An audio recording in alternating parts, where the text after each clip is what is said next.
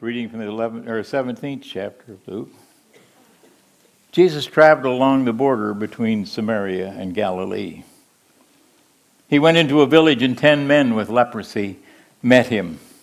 They stood off at a distance and called out, Jesus, Master, have pity on us.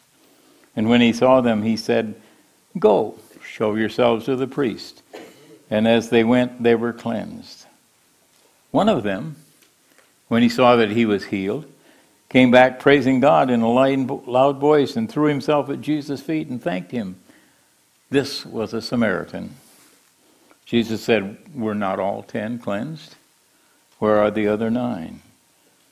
No one found to return and give praise to God except this foreigner. Then he said to the man, Rise, go.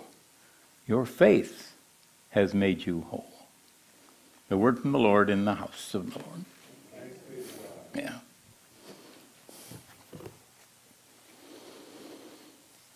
The prophet wrote a letter to the Jewish people in, in Babylon who were in exile and said, God said, get to living. Marry, have children, have them marry, plant gardens, build houses, live. And that's the advice he gives to most of us all the time that sometimes we have trouble getting into. He wants you to live life, not exist. He wants you to live life wholly, fully, absolutely, not just put in your time. Doesn't want us to just coast. He wants us to be fully, absolutely committed to living the life that he has in store for us. Jesus went into a village walking the line between Samaria and Galilee between two people who hated each other. The Samaritans so hated the Jews that if one of them happened to walk across his land, he would take handsful of straw and place them every footprint that the Jew had left, and then he would light them afire to rid his land of any any residue of having a Jew on their land. And yet they went to Jesus, the Jew, to be healed.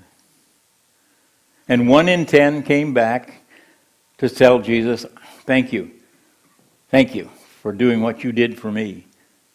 And Jesus looked around with, I thought I did ten. Where are the other nine? You know, it's kind of, we, we, we all recognize that God creates miracles in our life. He, he does things in our lives, but we've got we've gotten an attitude over the years of, yeah, but what have you done for me lately, God? We expect good things all the time. And if we can't identify those good things, I've told you the story before that I went off to a sales meeting in May. And at the sales meeting, they said, We sold our product line. You have one week to turn in your company car.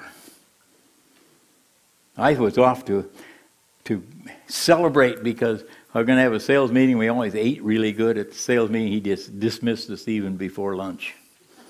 Now, you know that I, I have a love affair with food, and it broke my heart to be cut off.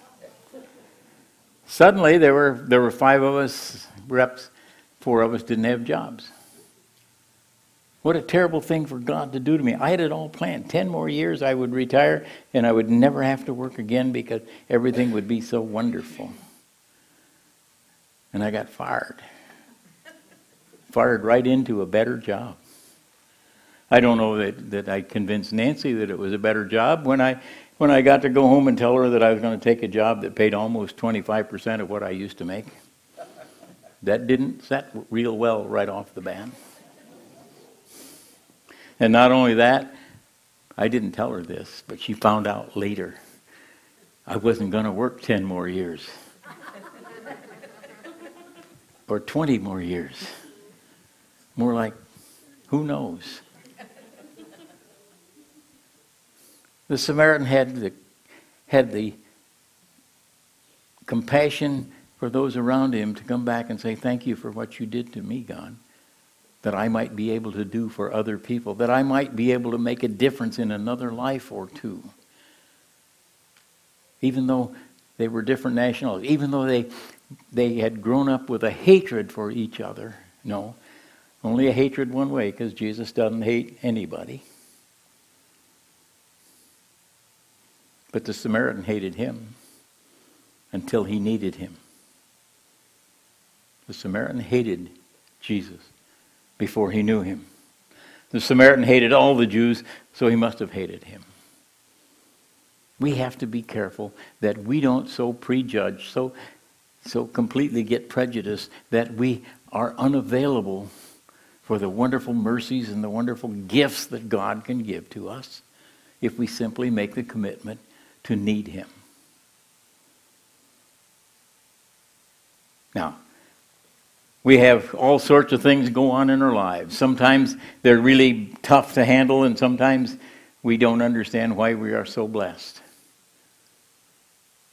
But we ought to be one out of the ten that has the courage to stop and say, Oh, thank you, Jesus, for what you have done for me in my life. Because my life is different than it would have been without it. My life is different than if the circumstances hadn't put me where I am. I didn't plan on being your pastor. When I came to, to this part of the world to retire and live off my wife, I mean, no, excuse me. She wasn't supposed to be here today. Uh, I thought I had a life of ease and wasn't going to have to do much of anything from now on. And I had no intention because I was told that we don't use local pastors in this conference. Yeah, they don't. We know better than that. But when I look back and I begin to realize how many times the things that I thought in my life were tragic, the things that I thought in my life were disaster, have simply set me up to be closer to Him, to be closer to the one who could love me enough to overcome all of the things in my life that have gone the way they shouldn't. And that doesn't mean everything's perfect. We have some, you know, we always have situations that come up. But he reminds us that he's never very far away from us. We don't have to do this alone. We have him on our side. But we have to be at least that one in ten who understands what he's done for us. That one in ten who can take time out of their life to praise him for what he has done in our life. Yeah, one in ten. It's a pretty bad batting average. It's a pretty bad average for almost anything. Except it has to be us who is the one, the one in ten The prophet wrote to the people in exile and said, God says, live your life. You're in exile. Live your life where you are. Be who you are, where you are, because that's what is, what is real. But understand that God is always with you. Yeah, ten lepers came and stood off a great distance. They had to. They weren't allowed to come close to anybody. Family, friends, no. They had to live off by themselves. And he said, All you got to do is go show yourself to the priest. That'll take care of it. And the one in ten came back to say, Thank you for giving me a life back, a relationship back with my family, a relationship back with my city, a relationship back with the world.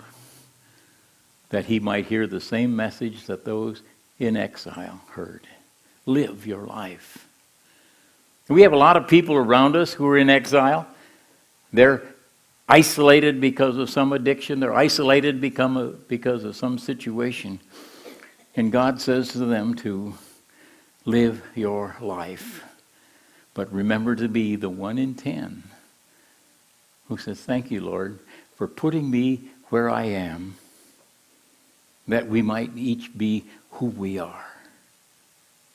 And that in being who we are, we are loved perfectly by the perfect love of Jesus Christ. Be one in ten. Not nine like most, but one that's special. One with a relationship with Christ that is meaningful, lifelong, life giving for eternity. One in ten. Amen. Live life. It's what you got. Never live life alone. Be one in ten who draws near to him that you might know his peace, his joy. Amen.